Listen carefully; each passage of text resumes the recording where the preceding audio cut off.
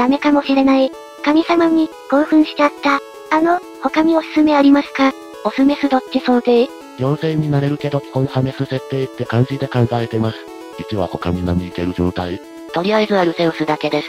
映画の崇高なアルセウスが人間によってかわいそうなことになっていくのを見て耐えられませんでし。この神様エッチな身体してるよな。つま先と膝のあたりとかたまんないしお腹やお尻の曲線もセクシー。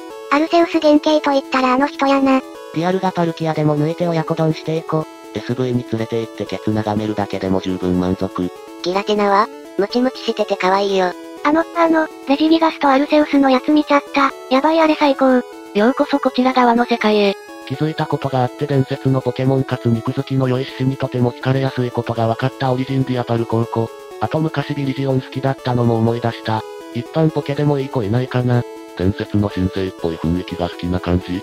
SV にいないけどアマルルガとか。ダメだ、なんか一般ポケだと身近なお友達でやっちゃってる感じして無理かも。アマルルガは間違いなく神デザなんだけど。セクレシおすすめ。ふふ、あの最高でした。でもエロというよりは2体の友愛とか親愛とかの尊さに惹かれてハマりましたありがとうございます。ジュリアはどう？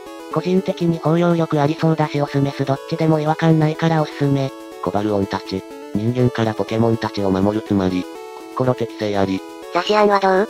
ねえ属性で姫騎士で属性や守りだし。鳳凰はゲーム上は性別不明扱いだけど、公式イラストやぬいぐるみはオスっぽい顔つきとメスっぽい顔つきの2種類が混用されてるんだよね。だから実際には性別があっても不思議じゃないと思ってる。元ネタの鳳凰は大鳥がオスで大鳥がメスだから。いけるいける大丈夫。